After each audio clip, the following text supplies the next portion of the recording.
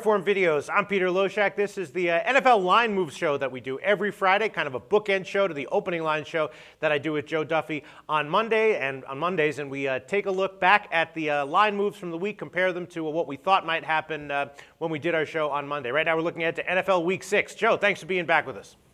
Thank you, Peter. Did you hear what the line is in the Jacksonville Denver game? All right, all right, okay, okay. that, that, that, we're moving on, Joe. We're moving on, Joe. You know, we don't we don't want to beat a dead horse. You have to you make your joke and then you get out. You got it. All right, okay, all right, all right. But I'll t- I'll tell you one thing that's not funny at all. You ready, Joe? Uh, yes. We thought, right, that the that the total in New Orleans and, and, New England would go down. You suggested it, and I looked at it, and I was like, wow, I completely agree with that. I bet it at 49 and a half and 50. It's gone up. It's 50 and a half. That's actually one of the uh, more significant totals line moves on the card this week. What do you make of that? Yeah, I mean, I don't know if it's a humongous move, but as I said, that I, I thought that a lot of the square money, they're automatically the knee jerk reaction is mm-hmm. going to be bet the over. So some of the knee jerk money has moved it up, but I still think before game time it will go down. So, you know, it might be a chance for some people to middle the total, but I, I still think the sharp money before the game is going to bet it down. All right, now let's t- take a look at uh, two of the biggest moves, the two biggest moves on the spreads on the week. First of all, the most obvious one, the Jets, right? They were, uh, before the Monday night game, they were right. a small home dog. After the Monday night game, which they won, they're a small home favorite. Pittsburgh, of course, coming off the bye. Now there's news that Cromartie's out for the Jets. I'm thinking that's an overreaction. What do you think?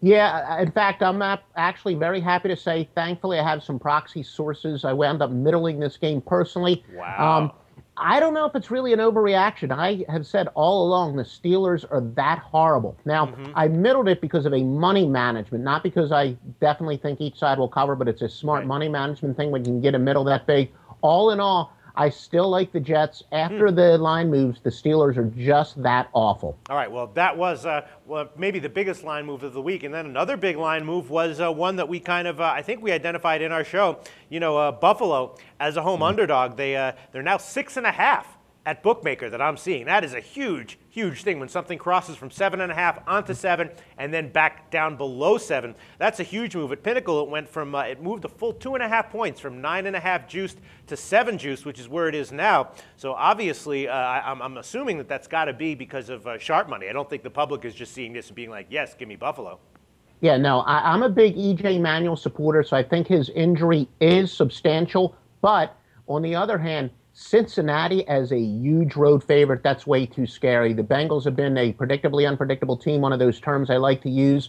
Uh, you know, even without EJ Manuel, that is a very shaky team laying a lot of points on the road. So I, I didn't shock me that that line did move in the direction of the home underdog. Yeah, I'm kind of agreeing with that move myself, although at six and a half, I'm not sure if I would be uh, so excited yeah. to uh, take Buffalo. We'll see where that line closes. Uh, and then I noticed in the in the Philly Tampa Bay game, I was thinking that might be a game that you know people might stay mm-hmm. off of, but uh, it seems like it's it, Philadelphia. The line's moving in Philadelphia's direction. It opened it at pick'em. Then I think when we discussed it, it was like Philly minus one. Now it's all the way up to uh, three. Even mm-hmm. if you believe Michael Vick is the better quarterback long term Foles is going to give him an element of surprise because he's worked with the offense. I know that they had a different coach last year and Andy Reid, a, a, a, different offense, but he still has developed chemistry with the players both last year and in the preseason. He worked with the first team offense. He worked last week with them. I think short term, short term, Nick Foles starting will actually help Philadelphia, and I think a lot of the sharp players agree with me. Yeah, it's not it's not three flat anywhere. It's you know okay. three. It's you know the the, the best line is uh, Tampa Bay uh, you know plus three at like minus one twenty or something. But still, it does seem like the uh,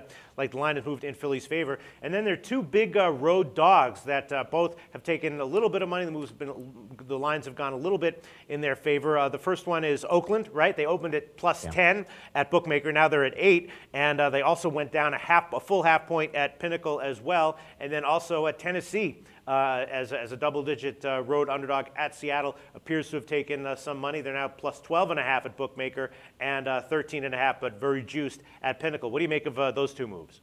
Yeah, Seattle is a, they're obviously one of the top teams in the NFL, but they're not designed to blow teams out. So them laying 13 and a half points, they're not going to be involved in as high scoring game as, for example, at Denver. So you have to look at the spread relative to the total. 13 and a half doesn't always equal 13 and a half, depending on whether it's going to be low scoring or high scoring. So yeah, that's a lot of points for a Seattle team to be laying.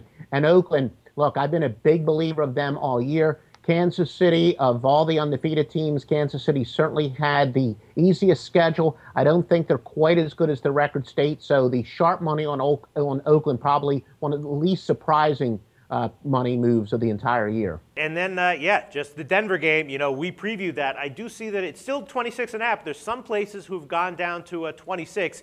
Uh, Joe Duffy, where do you think this line will close? Just make a prediction. No, I think it's. I think it'll be less than 28. So I would mm-hmm. say, you know, 27 probably. So, so you think it's going to go back up a little bit to 27? Yeah, it's going to go up, but it's not going to go back to 28, which isn't quite a key number, but it's it's significant enough. Okay, well, if it, if it moves up to uh, 27, then that'll be a little bit uh, money in Denver's favor because right now it's 26 or 26 and a half. All right, but before we let you go, is there anything else that uh, caught your eye this week? Yeah, a lot of places. Dallas opened up at three and a half. They're up to five and a half. Again, it didn't cross cross a key number, but a number that low that's pretty significant. And we sharps, we've been going against Washington all year. Still don't believe in them. Tony Romo's definitely a playmaker against quality teams. He seems to make that mistake at the wrong time, but he's not going against a very good team this week. I think the Sharps believe that Dallas is going to rebound from that tough loss last week and destroy Washington. That's another line move that really didn't surprise me very much. All right. Thanks so much, Joe Duffy. We will talk to you again on Monday.